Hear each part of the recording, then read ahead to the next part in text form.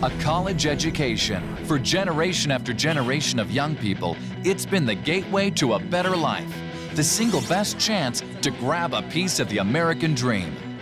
But now, the price of admission is threatening that dream. This season on The Scholar, 10 exceptional high school seniors are leaving home to compete for a college scholarship worth up to a quarter of a million dollars. Love you. Love you too.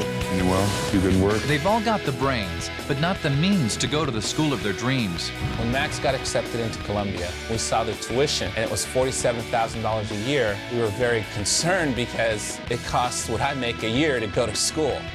Over the next six weeks, these students will live together and compete as individuals. Prophase, metaphase, anaphase. These people I'm surrounded by, freaking geniuses. Who invented the cotton gin? Nairobi is the capital of what country? RNA stands for. They will also compete as team members. Today is going to be amazing. All while being judged by the scholarship committee, three college admissions experts. Do you understand what's at stake here? It wasn't a fair question. But any question is fair.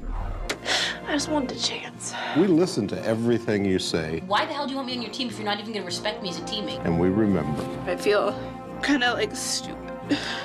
It's a behind closed doors look at the tough decisions that mirror the actual college admissions process. We're looking at things like creativity, intellectual depth, and ethics. People with potential to learn and grow. We're definitely looking for leadership, a person willing to stand up for what they believe in. But college is more than just about academics. It's also about social awakening. kind of attracted to Liz. Max, you're just plain sexy. I think there's definitely a physical attraction between Alyssa and myself, but I am attracted to Melissa.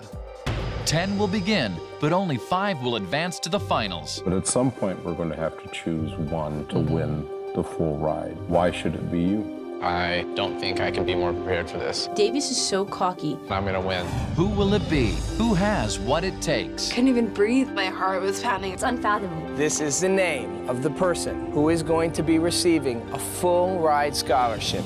Time is up.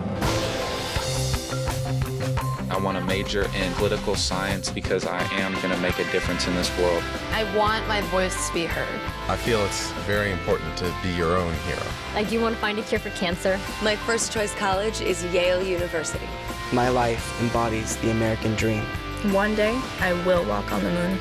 I want to be president because I really want to see a change in American culture. My intelligence doesn't define me. It's just a part of me. My ultimate goal in life is to have a positive effect on the lives of others. Their dreams of the perfect college just out of reach. Only one thing stands in their way the money. 10 high school seniors, one full ride scholarship. The Scholar.